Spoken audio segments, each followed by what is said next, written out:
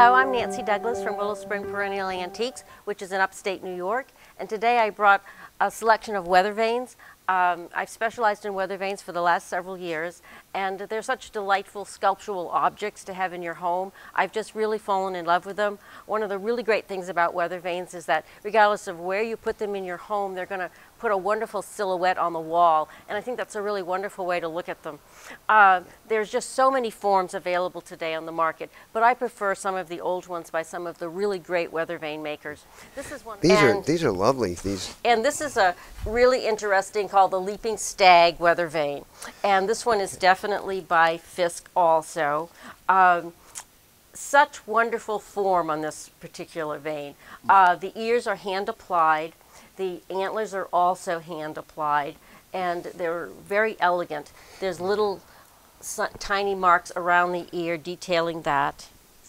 Uh, this vane was done in a couple of forms. There is another one on the market that was done by Harris and Fiske that has um, a wonderful foliage with it. but this is yes, pull it right thanks. off. Let's see.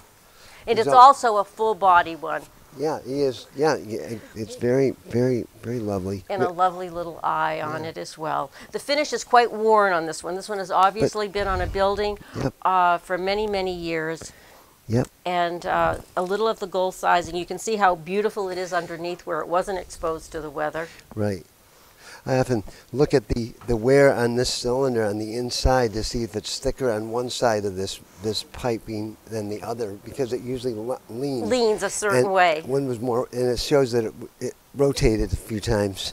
You know, actually, this this does have that that uh, that change in uh, in size and thickness because it, so it was on a barn. That is a wonderful surface, and I, I, like it because it has this very simple, clean line. It has a clean line, a wonderful surface to it, and as I said, I have it up on a large highboy at home. Right. And in the evening, under the evening light, it will cast its shadow around the room, and I always love coming down and seeing it that way. It's really nice. And there's another sweet little one that I just recently got. Yeah. Okay is this particular one here. I love it for its size. It's really a doe weather vane. I call it my little reindeer though because it just reminds me of a reindeer.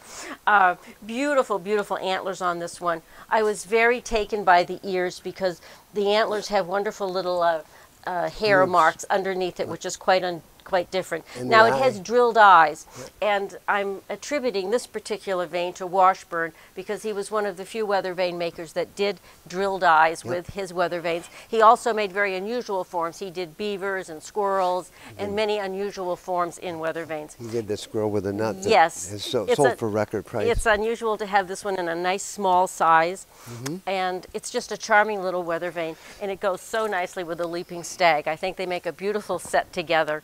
This, this, this is really really nice. I really not. I like the I like the fact that the ears are actually uh, also incised. You know, yes. the inside of the ears, inside almost like a little, leaf. Little little leaf design almost on them. Yeah, it's like. And a few little muscles that you can see within the vane itself. Very nice. Really nice. Did you and find as I said, vanes are so sculptural. They're so. Well, they, they're, they're such a wonderful folk art. This looks great. See like how that. it's making the shadow yeah. in the background. Yeah, the shadow's wonderful. Yeah, but it's I love them against the wall, on, on, a wall. And they're so easy to mount, right? Just yes, a few nails, yes. Really. And it'll make a great holiday addition to put, um, I'm going to put a little wreath and a bow on him for the holiday season. You, just, you going to paint his red, his yes. red? No, don't do that. no. Okay. It'll just sit back down yeah, there. We'll call him Rudolph. Well, thank you, Leigh, for looking at my vanes. I hope you enjoyed them too as much as I do. Weather vanes are wonderful to collect. They're wonderful pieces of folk art. There's so many available on the market today. Try to go to reputable dealers because there are a few reproductions today, but the original ones uh, have such great form and beautiful finishes on them. They're quite easy to, to find. And as I said, they come in just so many forms today. Thank you for looking, Leigh. Thanks. Thanks for bringing them, Nancy. These weather vanes will be found on the Ruby Lane site this uh, coming November. Uh, they will all be posted there. I hope you can go to the site and look at all the fabulous things that will be offered. And I hope one of these vanes will interest you and um, perhaps uh, contact me for any information that you have. It will all be available on the Ruby Lane platform at Barnstar for the fall antiques at Rhinebeck. We're so excited to have a platform because so many of us dealers feel so bad about missing the fall show at Rhinebeck and not being able to have in-person shows, but please realize that we will give you as much information as possible and you'll be able to see wonderful, wonderful photographs and pictures of any of the items that you're interested in. Thanks for looking, folks. Well, Nancy, I I just want to say uh, you're a wealth of knowledge about weather vanes and antiques in general, and I know also that you guarantee everything that you sell. Yes, And- yes, to and be you authentic and it. of the period that they're from, yes. And that is so important to make sure that you, you, you deal with a reputable person, as Nancy says, that somebody that will stand by their items and stand by the condition of them, not just the age. Because on a weather vane, just a, a replaced tail can take away 50% of the value. And on, on literally one of the years affects the value a great deal. And there are very good people today that fake the, the, the ears, every part of it, right? And they, they're so good, right, Nancy? Yes, it, it does take a discerning eye, but after you've dealt with them for a few years, it's quite easy to tell. Right, and if you buy from some, some somebody like Nancy, you know that they're right. You can sleep at night, and that's the important thing. You can sleep at night, at night knowing that you've bought a genuine antique, a great piece of folk art. And another wonderful thing about weather vanes too, which is uh, economically they really have held their value. You know, weather, va- you know, so many things in the market are going up and down, but True. for but for many many years, people have always loved weather vanes, and uh, they're always part of their great folk art collection. It's really true. They go with modern art. They go with they go with all different. Oh, I think they look wonderful in contemporary settings. And they, you know, they look great on a highboy, and they look great on, you know, uh, Uh, you know, uh, credenza that's mid-century modern. They would look great there too. No, it's it's really true, really true. I mean, these are wonderful, really great, great, great. Wow, maybe a day. Well, thanks so much, Leigh. It was a, it was a thrill to share them with you. Nancy, thanks for bringing them. It's nice to talk about them with somebody as knowledgeable, knowledgeable as you. So, Nancy, you brought two things that I absolutely love uh, Sailor's Valentines and salt glazed decorated stoneware. I love these items too. Uh, I think the Sailor's Valentines are so interesting. Um, they have such an interesting history about them. So many people have always said to me, "Oh, the sailors made them on the boats." And uh, Right. Diane Battelle, who's a real expert on these, wrote a wonderful book on Sailor's Valentines. And it. she explained the history of them so well that they were actually made in Barbados. When the great sailing ships would make their voyage around, they always put in for a nice long stay in the Barbados area. And when the boats were in and all the sailors came off, uh, they always wanted to shop and buy things, even back in the 1850s. And several of the ladies who lived on Barbados started this cottage industry of making these delightful sailors' valentines. And the sailors would purchase them and bring them back to their sweethearts or their wives. Some of them have wonderful little sayings on them that'll say, Remember me or To my darling. And uh, they were given.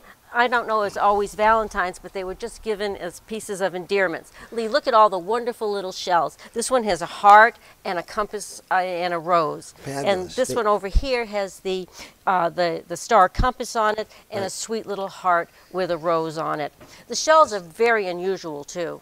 Wonderful. And there, they, they, it seems like there's a certain shell they say that is typical of Barbados. Is it this type of here, the um, conical shell, the little, the, little, small one, The little tiny, almost like a tiny little conch shell, yes. I, I, uh, that's, I, I think it's, I, I, it's a wonderful story that lasted for years. The sailors made them when they had their spare time, but I, but the real story is that they were made on the Barbados Islands, right?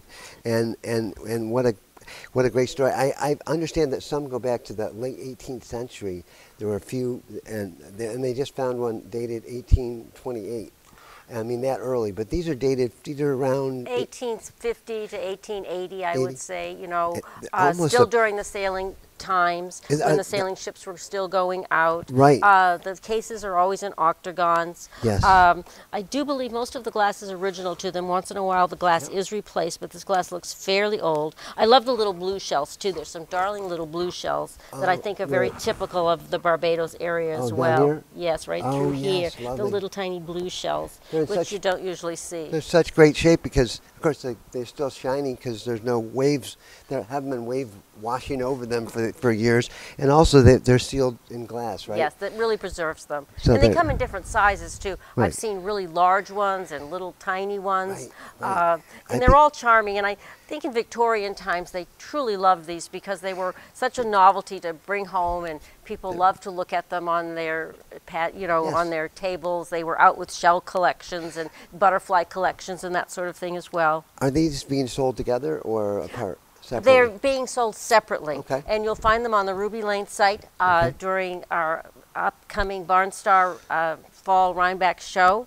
Yeah. And uh, they're just delightful, a wonderful little gift, and they'll bring anyone who owns them many years of joy. They're really, really great. What about the jug? Well, I love stoneware. I know you love stoneware, Leigh. and I brought this particular one. I thought you might find it kind of interesting because it's oval form, which is the earlier form that you're going to find in stoneware. Uh, usually between 1820 and about 1850 is when the oval form was mostly done. This Uh, ovoid, right? Shape, this S shape, right? Go ahead. and Yeah. you can feel the potter's hands as it came up. Yes. It's- And an applied handle. yeah, the applied handle with Albany uh, slip that's brown on the inside, right? The Mm-hmm. dark Albany slip. And this is what's rare about this is the ochre. This kind of Yes, I never. the- You'll ninety percent of the stoneware that you'll see with Yeah. decoration will have that beautiful deep cobalt decoration. Right. But every now and then you'll find one that they did in the ochre decoration. Yes. And I think this was actually done by Julius Norton's hand Yep. because of the very fine way that brush came around. You can just It's- see the detail in the little flower. absolutely fabulous. It's it's wonderful. I'm, that's his, I, I think you're absolutely right about that. I saw one once with a butterfly on it. He- was and, and it has the same feeling. These wings are almost like those butterflies' wings.